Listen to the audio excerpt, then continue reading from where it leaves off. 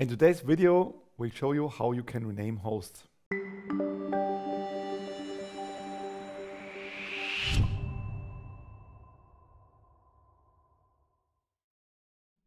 Okay, so um, renaming hosts sounds easy, but it's more complex than you might think. Yes, it is. Um, well, the renaming of hosts in CheckMK is, uh, is possible, but it's a complex operation because the host name is used as a key in many situations. So it's used in log files, in historic data, in, in the metrics data, and so on. So you, of, of course, you could simply remove a host and add it with a new name, but then you lose all your continuity. So what we want to do is rename host in a way that uh, keeps the continuity. So basically we change not only the future, but also uh, the past. And that's something CheckMK can do, and we'll show you how this is actually done. Right, So exactly. Robin is with me today again. So hello, Robin, and yeah, let's maybe uh, start with a simple example of renaming one single host. Yeah, I think that sounds reasonable for starters. All right, so now we are back in our uh, demo site and we are going to navigate through the first host. So we prepared some examples to showcase how one can rename hosts. Um, and here we got our first example. It's a single host, um, typical setup, and you see it has kind of a weird name. So we want to rename that host and make sure it's uh, named properly. So we're going to open the host object. Then we navigate to host and we can say rename here. So this is the this is what Mathias mentioned earlier, the proper way to rename a host. I mean, uh, uh, if you go back uh, one step, uh, you will see that this field is not long an input field, the host name, it's fixed. You cannot edit the name here. Right, exactly. So With other values, the IP address you could just change it on the fly, save. Yeah, you can change anything, just not the host name. Yeah, right. Because okay. it's the key identifier and that's why we have a special procedure as shown here and I'm just gonna copy the name here because we just want to make sure that the host name looks nice and per our standard and that is lowercase in this example so you see it's basically just one letter that changed but we have to go through this procedure um, we put in the new name and now we can click on rename and I think Mathias can shed a little light on what is happening next. Yeah, lots of things. Um, so CheckMK basically uh, scraps through all the, the historic values in all files, all databases, and very cleanly replaces that host name with a new host name. And because it's a complex operation, uh, the monitoring has to be shut down during that procedure for a short time. Right. So you get a short monitoring downtime. Um, that's something you have to keep in mind. Also, it can take some time depending on how, how big your environment is. Right, exactly. But in the end, uh, you have everything in place as it should be, all the graphs, all the historic data, everything where the name of the host was mentioned will be renamed to the new name. You basically come to a situation uh, that is if the host already always had the name also in the past. You're basically changing So history here. yeah. That's the issue. Nice. All Okay. right. So now we can see um, we got the finishing screen. So everything is uh, done. You get the result. You can see everything that was done. You get the process info, a lot of information, which basically tells you it went as expected. Um, maybe one noticeable thing, there are no pending changes here. So in this situation, as Mathias just said, um, the changes are activated in the process of renaming the host. So when you see this screen, everything is done and it is already in your um, running monitoring configuration. And it goes very deep. Uh, as you can see, he even rebaked uh, the specific agent for that host. Right, exactly. So Yeah, it's that's the reason why it's, it takes some time. it touches every every parts of the monitoring. Maybe another noticeable thing, if you think about it, there are no pending changes now. So if you want to rename a host, you cannot do that while you still have pending Yes. changes because there you the process cannot ensure consistency and it would activate changes you might not want to activate yet. So Yeah. before you start renaming, you want to make sure your changes are activated. Yeah, you need to get it into a clean state, and Yeah. that's basically it.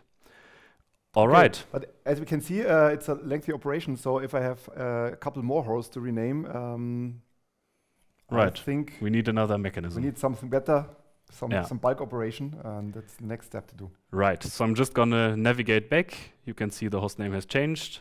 Um, so I'm gonna head back to the main folder and we are going to the next example. So now here we have an example with four hosts. Um, and as you already said, Mathias, uh, we want to um, do this in one batch. We don't want to rename every single host by itself because we already saw that takes a little time. With four hosts, it takes uh, quite more time, so we want to do it in one batch. Um, so in this case, um, we can directly navigate into the dialog and rename multiple hosts. Maybe you realized I didn't use a checkbox. So in this case, we are using all hosts in this folder, and I'm going to show you in a second why we don't need to make a selection um, prior to opening the dialog. Because here in this dialog, you have the host name matching, and this is uh, regular expression matching. Um, so here is where you can choose which host to rename. If you want to rename all the hosts, that's fine. You can leave it empty. The default is it will match everything. If you want to make further decisions what you want to rename, you could do that here, but you don't need the checkboxes. Anyway, for our first example, we make an ex- explicit renaming, so the selection is basically done by listing the hosts itself. Right, exactly. Um, but later we will show an example where where the matching is going to be interesting. Yeah, right. All right, so now I'm going to click on add renaming. You can see we can that do multiple times, and then we can select what method of renaming we want to choose. There's a whole lot. We will cover some of them later, but in this case, we want to do a simple explicit renaming. And you can see here, there's just two fields for that renaming. You put in the current host name and you put in the new host name you want to give it, Yeah. and that's basically it. All right, so now we put in the first host name. Um, the first one was this server, and uh, let's say the infrastructure team uh, decided to change uh, what the server servers do. They changed the platform. So in this case, we want to name it like this, so we know which operating system is running beneath it, and that's basically um, simple example. And I'm just gonna add the next hosts. I'm just going to prepare it here. We had four hosts.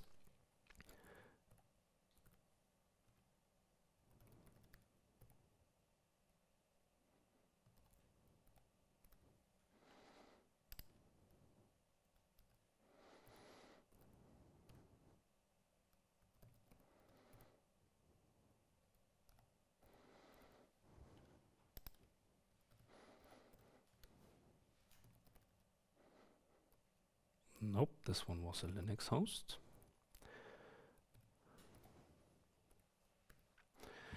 So now we got everything in place. We have the original names as you've seen before.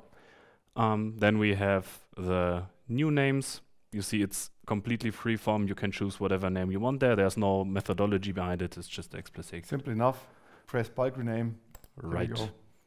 We get a confirmation what is going to happen, so you can double check if that is what you want to do. And I'm just going to confirm, and then the rename Yeah. job is running. And basically, renaming four hosts lasts the same time as renaming one host here Right. The because uh, the time is consumed uh, in stopping the monitoring, going through all files and stuff. So the actual number of hosts is not really relevant here. Exactly. Right. So now we see the operation was successful. Four hosts were renamed. It's the same dialog as before. So I'm just going to navigate back. You can see the host names are as we intended them to be.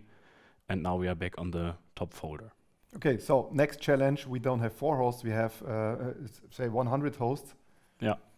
And we have systematic changes. For example, we want to add something at the beginning or drop something or change the case, stuff like that. Right, exactly. And we don't want to do uh, a 100 hosts Yeah. explicitly because for four to five hosts, that works quite well, as we saw. But if you um, have a certain amount of hosts, then that won't scale Yeah. as well. So we want to do something more intelligent, more interesting here. More automation, always good. right. Yeah, so let's make the next example. Let's dive into the next example. So I didn't create a hundred hosts in advance because that would take some time too. So I just went with 10 hosts. We have 10 example hosts here. You can see Linux Windows. It's the same scheme again, but in the end, um, it will be the same result. So we actually want to drop this .com here and make it lowercase. That's right, it, yeah. exactly. Like the example before, we have the um, goal in mind, how the names uh, should look like, and we want to make sure they look properly. So again, we navigate to the rename multiple hosts dialog. We have the hostname matching. We want to apply this to all the hosts. Ah, case translation. Right, that's already um, the right method we want to yeah. use, but we said we want to go to lowercase, so I'm going to select that here. Yes. Then we add another renaming, and here we have a nice little functionality that's called drop domain suffix. So you don't have to tell yeah. uh, CheckMK what exactly should be renamed. You just tell it to drop the domain suffix, and CheckMK knows that that means yeah. to drop everything behind the short name, and that's what's going to happen here. In this case, the, the order of the operations is actually irrelevant, uh, but if it's relevant, you can move around these operations with the arrows. For example, say I want first to drop the suffix and then make a case translation. Right, exactly. Because right. there are com yeah. more complex examples where that matters which yeah. translation is done when, because the next one would be based on the first one. So that would be uh, important. In this example, it doesn't really matter, right? Okay, so go ahead. Let's. All right, so now we can click on bulk rename. We get the confirmation dialog that actually happens what we want it to happen. You see the domain part dropped, and you see the case translation in the first letter. So I'm going to confirm this. We get the well-known dialog by now. Um, it's renaming the host in the background. And after a few or a few more seconds, this will be done and we can navigate back. Cool. What's if it's even more complicated? For example, uh, let's say if you want to swap the order of the operating system and the application here. Instead of app Linux, you want to make Linux app or something like that. Yeah, yeah. Sure. Um, I mean, some of you probably know regular expressions. Some of them might hate them. Some of them actually know how to use them. Just uh, we will use a really simple example um, how you can rename your hosts on a, with an even more powerful um, method. And if you don't know about regular expressions, this is a very good opportunity to learn them. They're really cool. They're really powerful. You find them in every place in CheckMK. Uh, in the user manual, uh, we have um, a page for that, an article. We will link that in the video description. And maybe we make some videos someday about regular expressions as well. Right, might be fun. They're so useful. All right, so for the last example, I have prepared 10 hosts again. This time you can see they are named differently. And this is what Mathias just mentioned. Now, there is something more complex. We can't just drop some part of the name and there's not just a case translation. Yeah. In this situation, um, there's a little more, more to do or more to know. So we are going back into the dialog we already know. We want to rename multiple hosts, all of them and we want to add a renaming. And here are all the renames you already know, some we didn't show. Um, and now comes the Swiss Army knife, the regular expressions. right, exactly. so um, now we can choose, or now we need to uh, give CheckMK, on the one hand, uh, the regular expression, how it can find the hosts, and we need to give it the replacement, so how it should arrange this stuff. I think it would be easiest if I just put in the configuration, and then we can explain what it does. So let's start with, uh, with matching the first word. And we simply use dot star, which matches everything, uh, any, any sequence of characters. Right. Then we have a dash. We match exactly one dash. Then another word, so it's dot star again. Another dash, and final dot star. So this matches everything that has two dashes in it. Right. At least two dashes. Exactly. So now comes the funny part with the, the replacement. So um, uh, what we now need is some placeholder for these three words that we want to replace. Right. So exactly. the trick is grouping these three dot stars into brackets, and then you can refer to them. Right, exactly. So I'm just going to go ahead and put in the brackets. So as Mathias already explained, um, this is basically the first word group of the first group, and with the brackets, we can mark that so we can use it in the next step as one distinct group. And that goes for the second and the third part too. So in the end, the expression looks like this. So we, we kind of catch uh, the words that have matched into, into boxes, into registers, and we can insert them with backslash one, backslash two, backslash three. Exactly, right. So, we take these boxes we just created with the brackets and we rearrange them in the replacement yeah, section. Okay, so go ahead. Right, so this. Um, so we want, want the operating system name as first, and this was in the last group, so we need to start with backslash 3. Exactly, right. Then there's the dash again, because yeah. that is not within this box we yes. are rearranging. Yeah. Now the next part would be the first matching group we already had which was the, the number. Right, exactly. And as the last, again, the dash as a separator, basically. The application. Yeah. And the application. That's it. So, so that's basically it. Let's try it out. And now we're going to go on bulk rename. And now you can nice. see we, we, we did it on the first try. Yeah. it worked on the first try. So uh, this is what we want to have, the rearrangement. So I'm just going to confirm this and get the job running. Yeah, let's go. Yeah, that's basically it. Right. Same procedure as uh, we already had. And I, I think you, you have seen that very complex renamings are possible. Um, so it's an opportunity to clean up uh, your mess in your host names, maybe. uh, if you have even more things, if you have thousands of hosts uh, with very explicit renamings, you already, uh, of course, can use the API and write some script or something that's Sure, yeah. The last there's, resort. There's a lot of more ways yeah. how one can do that, but in this uh, case, this is the starting point where you start, and it's really powerful. You can use it in a lot of scenarios. So thanks for watching, and we see you again in the next video.